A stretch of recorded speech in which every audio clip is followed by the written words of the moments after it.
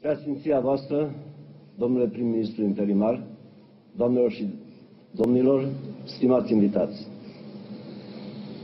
În fiecare an, pe 26 iunie, sărbătorim Ziua Drapelului. În întreaga țară, militarii participă alături de populație la ceremonii organizate cu această ocazie. Pentru militari, simbolurile naționale, drapelul, imnul, stema, sunt valori deosebite. De altfel, militarii poartă pe uniformă simbolul național, drapelul tricolor.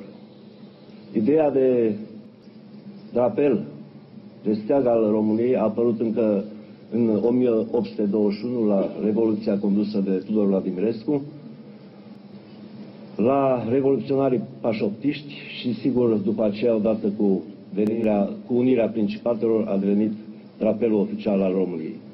De atunci, militarii români, dar și românii, sunt însuflețiți de simbolul național, de drapelul tricolor. Oriunde ne ducem în lume, suntem mândri, suntem demni, suntem respectați pentru ceea ce fac militarii noștri și pentru faptul că poartă pe umăr, poartă pe piept și în inimă tricolorul. Tricolorul îl găsim pe toate meridianele. Dacă vorbim de Organizația Națiunilor Unite, flutură în fața sediului organizației. Dacă vorbim de instituțiile europene, flutură în fața instituțiilor europene. Și chiar ieri, aflându-mă la Bruxelles, la comandamentul uh, NATO, am fost mândru să văd fluturând drapelul României.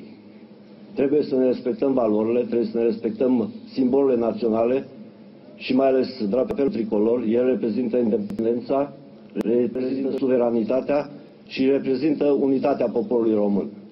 De aceea, în această zi, această zi de mare sărbătoare a românilor, domnul prim-ministru interimar și cu mine am dorit să fim la Miercurea Ciuc, să înălțăm acest, pe acest catarg înalt drapelul tricolor.